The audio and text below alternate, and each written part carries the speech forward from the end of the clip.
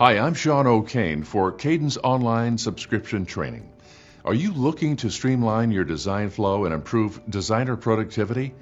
Customizing your virtuoso design environment with skill programs is a major step towards that goal.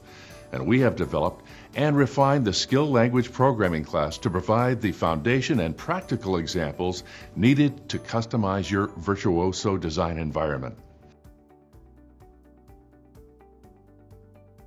You start with the fundamental commands and syntax needed to create skill functions. You will write programs to work with the list data, query, cell, view, design data, and read-write files. And from there, you progress to programs which filter the necessary data and then iterate through that data to report on and update the cell view design objects.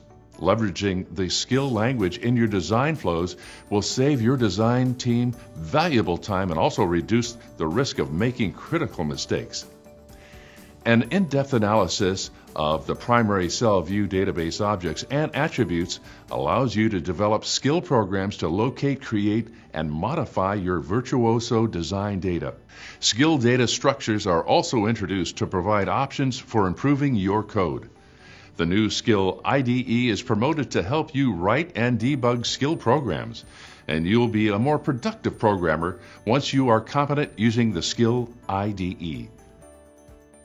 The class is five days, with the first two days providing an introduction to the topics and providing what is necessary to write basic skill programs. You can also take just the first two days of the course by taking the Skill Language Programming Introduction class.